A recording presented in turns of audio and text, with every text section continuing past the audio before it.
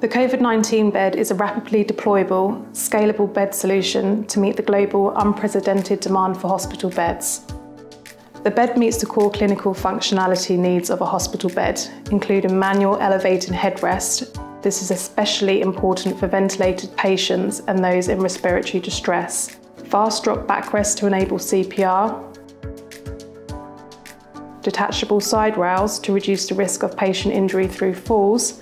The bed platform can be adjusted to two heights and also has an IV pole. The bed can be decontaminated quickly and efficiently, and is compliant to relevant medical bed regulations. The COVID-19 bed is part of the WardFast Rapid Deployment Hospital ward system. COVID-19 bed production volumes can scale up fast to 5,000 plus units per week